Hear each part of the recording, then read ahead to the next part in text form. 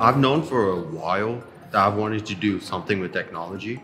I joined the program because I had a long interest in computer science ever since I was little. I did this because of, of course, the opportunity. Second, Mark Cuban, you, you just see that name and you're just like, yes. I'm Ryan Klein. I am the Director of Partnerships for the Mark Cuban Foundation and one of the co-founders of the AI Bootcamps.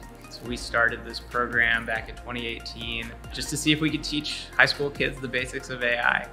This year we've got 15 camps across the country 10 in person, including here at Perficient today.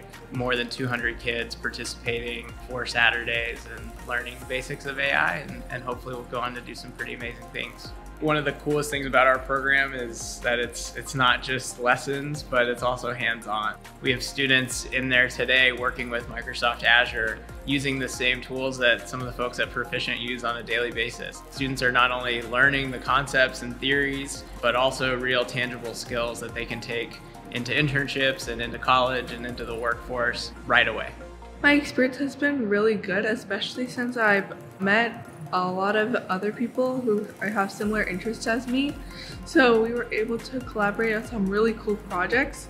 I've taken a ton of notes. I have done all the projects I can, all the extra credit stuff for this class, everything. It's been amazing here. Plus, I made a lot of friends here too. That's gonna be lifelong friends. It's a great way to start my network too. I just think genuinely having mentors too that I can reach out to whenever I need to, I mean, that's perfect and that's all I kind of needed.